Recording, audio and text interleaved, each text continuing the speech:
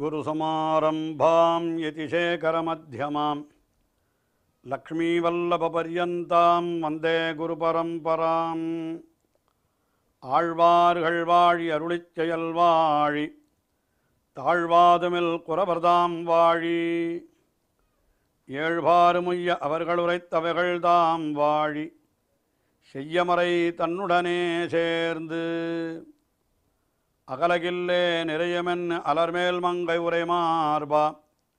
நிகரில் புகழாய் உலகம் உன்னுடையா என்னையாழ்வானே நிகரிலமரர் முனிக்கணங்கள் விரும்பும் திருவேங்கடத்தானே. புகழொன்னில்லா வடியேன் உன்னடிக்கீழமர்ந்து புகுந்தேனே. அகில புவன ஜன்மஸ்தேம பங்காதிலீலே. வினத விவிதபூதவ்ராதரக்ஷை கதீக்ஷே श्रुतिशिरसि विदीप्ते ब्रह्मणि श्रीनिवासे भवतु मम परस्मिन् शेमुषी भक्तिरूपा श्रीपराशरभट्टार्यः श्रीरङ्गेशपुरोहितः श्रीवत्साङ्कसुतः श्रीमान् श्रेयसे मेस्तु भूयसे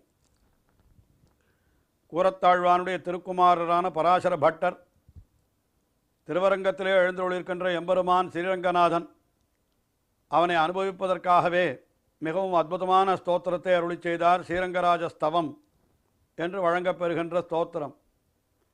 அதிலே பூர்வ சதகம் என்று வழங்கப்பெறுகின்ற முதல் பகுதியிலே அந்த எம்பெருமானுடைய திவ்ய மங்கள விக்கிரகத்தை மிக அழகாக அனுபவித்தவர். அதற்கு ப- அடுத்தபடியாக உத்தர சதகம் என்று சொல்லப்படுகின்ற இரண்டாம் பகுதியிலே அந்த எம்பெருமானுடைய திருக்கல்யாண குணங்கள் அவதாரங்கள் முதலியவற்றையெல்லாம் அனுபவிக்க வேண்டும். அதற்கு முன்னாலே அவற்றையெல்லாம் நமக்கு காட்டி கொடுக்கின்ற பிரமாணம் சாஸ்திரங்கள் வேதம் முதலியவை இவற்றினுடைய ஒரு உறுதிப்பாட்டை நமக்கு முதலிலே தெரிவிக்க வேண்டும். அதற்காக முதலிலே பல பல ஸ்லோகங்களிலே வேதங்களை பிரமாணங்கள் என்று சொல்லி அந்த வேதங்களை ஒப்புக்கொள்ளாத பாக்கிய மதர்கள் வேதத்திற்கு புறம்பானவர்களையும் ஆனால் வேதத்தை ஒப்புக்கொண்டும் அதற்கு தவறான பொருள்களை சொல்லுகிறவர்கள் அவர்களுக்கு குதிருஷ்டிகள் என்று பெயர் சொல்லுகிறார். அவர்களையும் கண்டித்து மேலே பல விஷயங்களை தெரிவிக்கிறார் என்று பார்க்கிறோம். மிகவும் கடினமான வி- அதாவது விஷயங்கள். நாம் புரிந்து கொள்வதற்கு மிகவும் கடினமாக இருக்கக்கூடிய விஷயங்கள். உயர்ந்த தத்துவங்கள் இந்த ஸ்லோகத்திலே சொல்லப்படுகின்றன. இருந்தாலும் முடிந்தவரை நான் சுருக்கமாகவும் எளிமையாகவும் தெரிவிக்க முயலுகிறேன் என்று தான் தெரிவித்தேன். இப்பொழுதும் அப்படித்தான் சொல்லிக்கொண்டு வருகிறேன். இப்பொழுது கீழ் ஸ்லோகங்களிலே சொன்னார். என்ன சொன்னார்? வேதங்களை ஒப்புக்கொள்ளாதவர்கள் வேதங்களை ஒப்புக்கொண்டு தவறான பொருள்களை சொல்லுகிறவர்கள் இருவருமே புறந்தள்ளத்தக்கவர்கள் என்று மனு மகர்ஷியே தெரிவித்திருக்கிறார் என்று தெரிவித்து மேலே அதை விளக்கி கொண்டு போனார். இப்பொழுது ஐந்தாவது ஸ்லோகத்திலே என்ன தெரிவிக்கிறார் என்றால் சார்வாகன் என்று ஒரு மதத்தைச் சேர்ந்தவன். சார்வாக்கன் என்றால் அது ஒரு ஒரு த தனி மதம் அது. அந்த மதத்தில் எல்லாம் பொய் என்று சொல்லுகிறார்கள். கண் முன்னாலே காண்பது எல்லாம் கிட்டத்தட்ட இப்பொழுது நாஸ்திகன் என்று சொல்லுகிறோமே அது போலத்தான் அது. ஆனால் சொல்லுகிற வார்த்தைகளெல்லாம் மிக கேட்பதற்கு நமக்கே கூட மயக்கத்தை உண்டாக்குமாம். இவன் சொல்லுவது கூட உண்மை போல இருக்கிறது என்று நமக்கு அப்படி ஒரு ப- குழப்பத்தை உண்டாக்கி விடுமா அதனால் அந்த மதத்திற்கே சாரு வாக் என்று பெயர். சாரு என்றால் அழகு என்பது பொருள் வாக்கு என்றால் வார்த்தை. இந்த ப பேசுகின்ற வார்த்தை அழகாக இருக்கிறபடினாலே அந்த மதத்திற்கே சார்வாக்க மதம் என்றே பெயர் வைத்தார்கள். அந்த சார்வாக மதத்தில் என்ன சொல்லப்பட்டிருக்கிறது? பிரத்யக்ஷமேகம் சார்வாகா. அவர்கள் கண்ணுக்கு பிரத்யக்ஷம் என்கிறது ஒன்றை மட்டும்தான் அந்த சார்வாக மதத்திலே பிரமாணமாக கொள்கிறார்கள் அதாவது இந்த புஸ்தகத்தில் இப்படி சொல்லியிருக்கிறது அந்த க- இப்படி சொல்லியிருக்கிறது என்றால் அதையெல்லாம் நான் ஒப்புக்கொள்ள மாட்டேன். எது பிரத்யக்ஷமாக கண் முன்னாலே தெரிகிறதோ அது ஒன்றைத்தான் நான் ஒப்புக்கொள்வேன். கண்ணுக்கு தெரியாதவற்றை நான் ஒப்புக்கொள்ள மாட்டேன் என்று இப்படித்தான் அந்த சார்வாக்கன் என்றவன் சொல்லுகிறான். இவர் என்ன சொல்லுகிறார்? இந்த ஸ்லோகத்திலே மிக அழகான ஒரு நிரூபணம். பராசர பட்டர் இந்த வேதங்களெல்லாம் உண்மையானவை என்பதை சார்வாகனும் ஒப்புக்கொண்டுதான் தீர வேண்டும் என்று ஒரு வாதம் செய்கிறார். ஏன்னா அவன் ஒப்புக்கொள்ளலையே. அது வேண்டாம் அவன் கண் முன்னாலே காணுவதைத்தான் நான் ஒப்புக்கொள்வேன். வேதம் சொல்வதை நான் ஒப்புக்கொள்ள மாட்டேன் என்று சொல்லுகிறானே என்றால் அவன் ஒன்றை ஒப்புக்கொண்டிருக்கிறான் பிரத்யக்ஷம் என்ற ஒன்றை ஒப்புக்கொண்டிருக்கிறானோ இல்லையோ? நான் சொல்லுகிறேன் வேதங்கள் பிரத்யக்ஷம் என்று சொல்லுகிறேன். அப்போ அதை அவன் ஒப்புக்கொண்டு தானே ஆகணும் என்று ஒரு வாதம் வைக்கிறார். ரொம்ப அழகான யுக்திவாதம் இது. ஸ்லோகத்தை சொல்லி அதனுடைய அர்த்தத்தை எளிமையாக சொல்ல முயற்சி செய்கிறேன்.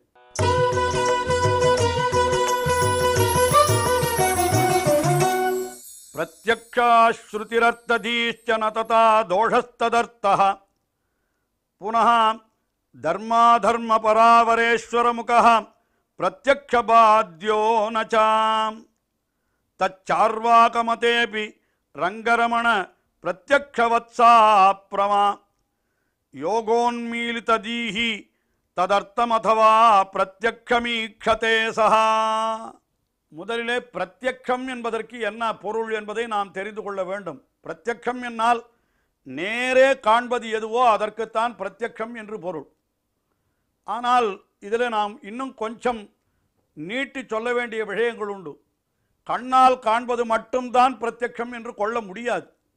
ஏனென்றால் கண் என்கிறது வஸ்துக்களை பார்ப்பதற்கு மட்டும்தான் உபயோகப்படுமே தவிர ஏற்கனவே நான் தெரிவித்தார் போலே மற்ற இந்திரியங்களாலே உணரக்கூடிய விஷயங்களுக்கு கண் உபயோகப்படாது. இதற்கு நான் தெரிவித்தார் போலே இப்போ தேனினுடைய இனிமை என்கிறது பிரத்யக்ஷமா இல்லையா என்று கேட்டால் இனிமை என்கிறது பிரத்யக்ஷம்தான் ஆனால் அது கண்ணுக்கு பிரத்யக்ஷம் அல்ல நாவுக்கு பிரத்யக்ஷம் என்று சொல்லுவார்கள். நாக்காலே உணர்வதும் பிரத்யக்ஷம்தான் அதே போல காற்று வீசுகிறது. என்று எப்படி காற்றை நீ கண்ணாலே கண்டாயா? என்று ஒருத்தனை கேட்டால் கண்ணால் காற்றை பார்க்க முடியாது. அப்பொழுது வீசிற்று என்று எப்படி தெரிந்து கொண்டாய்? என்று கேட்டால் நம்முடைய உடலிலே படுகிற பொழுதோ நமக்கு காற்று வீசியது தெரிகிறது அல்லவா? ஒரு தொடு தொடு உணர்ச்சி. அப்போ அந்த இடத்துல கண் போல அந்த தொடு உணர்ச்சி என்கிற இந்திரியம் பயன் வேலை செய்கிறது. அப்போது காற்றை நாம் தொடு உணர்ச்சியாலே தெரிந்து கொள்ளலாம். சுவையை நாம் நாவினாலே தெரிந்து கொள்ளுகிறோம். உ- உருவத்தை கண்ணாலே பார்க்கிறோம். என்று ஓசையை காதாலே கேட்கிறோம். என்று சொல்லுகிற பொழுது அது எல்லாமே பிரத்யக்ஷம்தான் என்று இப்படி சொல்லியிருக்கிறார்கள். கண்ணாலே காண்பது மட்டுமே பிரத்யக்ஷம் அல்ல. நாம் காதாலே கேட்பதும் கூட பிரத்யக்ஷம் என்று இப்படி நாம் முதலிலே தெரிந்து கொள்ள வேண்டும். அதை வைத்து பராசர பட்டர் இந்த ஸ்லோகத்தில் என்ன சொல்கிறார்கள் என்னால் சுத்திர அர்த்த ஸ்ருதிகி அர்த்ததீஷ்ட பிரத்யக்ஷாக ஏவா என்கிறார். வேதங்கள் பிரத்யக்ஷம் என்கிறார். எப்படி வேதம் எப்படி பிரத்யக்ஷமாகும் என்னால் அது காதாலே கேட்கப்படுகிறது. வேத வாக்கியங்கள் எல்லாம் காதாலே கேட்கப்பட்டால் எது காதால் கேட்கப்படுகிறதோ அது பிரத்யக்ஷம் என்று சொல்லியிருக்கிறபடியினாலே. அப்போ வேதங்களும் பிரத்யக்ஷம் தானே?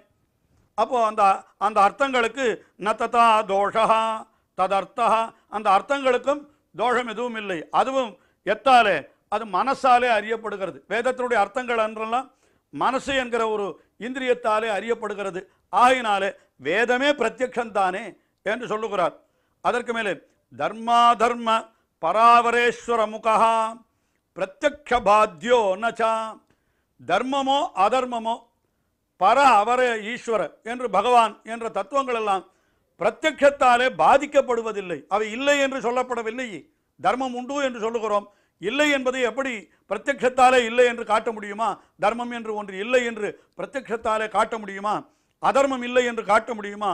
அதனால் சார்வாக மதேபி இந்த சார்வாக மதத்திலேயும் கூட சா பிரமா அந்த வேதமான பிரமாணங்கள் சாஸ்திரங்களாகிற பிரமாணங்கள் பிரத்யக்ஷவத்து ப- பிரத்யக்ஷம் போலேயே அவர்களும் கொல்லப்பட வேண்டியவைதான். அவனும் கூட யோகோன்மீலித்தம் யோகோன்மீலித்த தீஹி நன்றாக யோகத்தை செய்து ஞானத்தை அடைந்தானானால் அவனுக்கும் கூட இந்த சாஸ்திரங்கள் எல்லாம் நன்றாக பிரத்யக்ஷமாக அவன் உணர்வான் அல்லவா? ஆயினாலே எது பிரத்யக்ஷமோ அதைத்தான் நான் ஏற்றுக்கொள்வேன் என்றால் வேதம் என்கிற இது அது சப்த ராசி என்று சொல்லுவார்கள். அது சொற்களாக இருக்கின்றன. அந்த சொற்கள் காதிலே நாம் கேட்டோமானால் அது காதுக்கு பிரத்யக்ஷமாகிறது என்று தானே சொல்லியாக வேண்டும். ஆகையினாலே அதுவும் பிரத்யக்ஷந்தான் என்று இப்படி மிக அழகாக இந்த ஸ்லோகத்திலே தெரிவித்தார். இதற்கு அடுத்த ஸ்லோகத்திலே என்ன சொல்லுகிறார் என்னால் இப்படி சொன்னாலும் கூட பிரமாணங்களை ஒப்புக்கொள்ளாதவன் இருந்தால் அவன் கண்டிக்கத்தக்கவன் என்று ஒரு விஷயம் சொல்லுகிறார். ஸ்லோகத்தினுடைய அர்த்தத்தை தெரிவிக்கிறேன் மேலே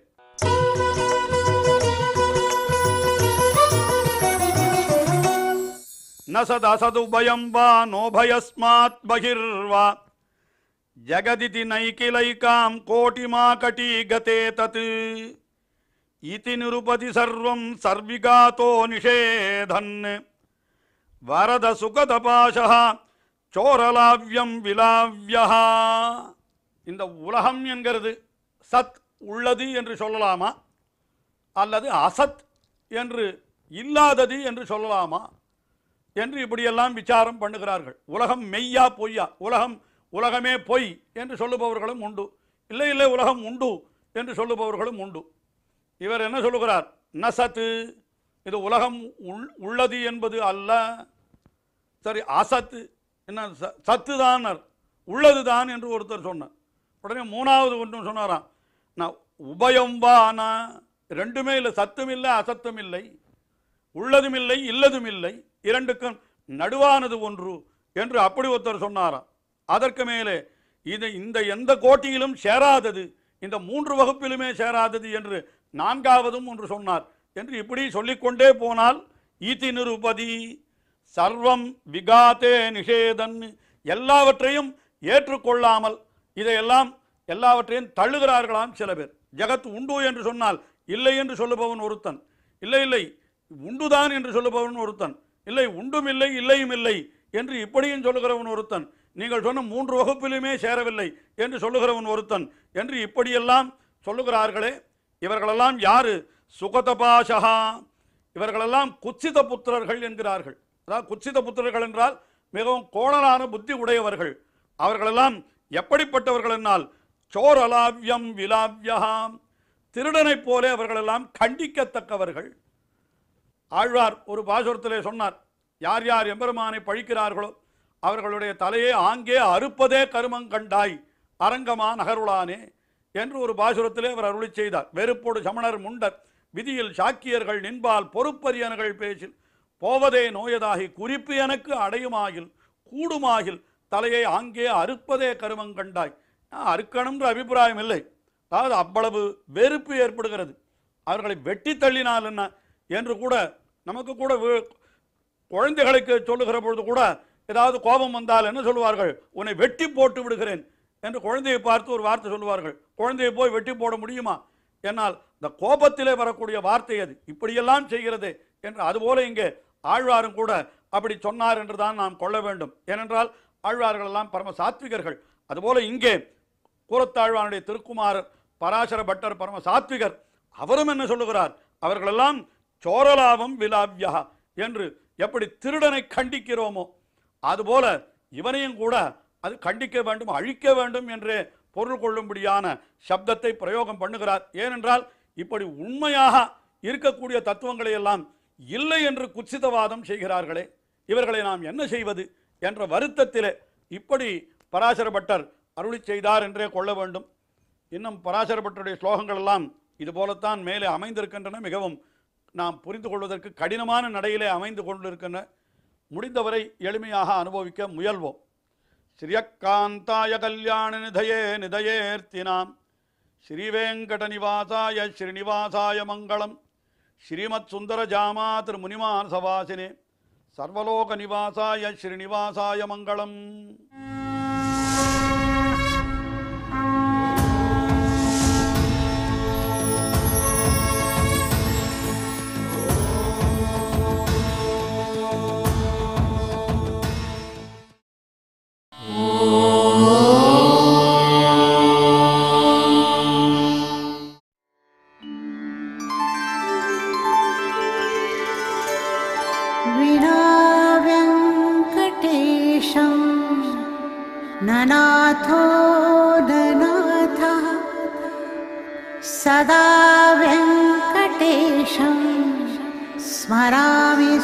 स्मरामि हरे व्यङ्कटेश प्रसीद प्रसीद।